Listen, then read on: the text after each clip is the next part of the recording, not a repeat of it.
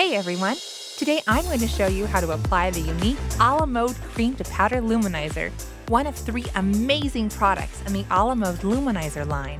The Cream to Powder Luminizer comes in an easy to use and easy to carry retractable stick. This product was designed for busy women like you in mind so you can easily luminize on the go. The product's creamy texture and easy to use packaging makes the luminizer easy to apply and gives your complexion an instant wow look without using any additional tools. For a fun and glamorous glow, the A La Mode Cream to Powder Luminizer can easily be applied to the cheeks, lips, and eyes. If you want to instantly illuminate your complexion, apply the luminizer directly to the high points of your face, the top of your cheekbones, your brow bones, temples, and cupid's bow.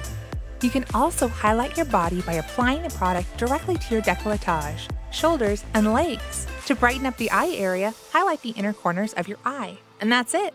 By following these quick and easy steps, you should achieve a highlighted look and a radiant, beautiful glow.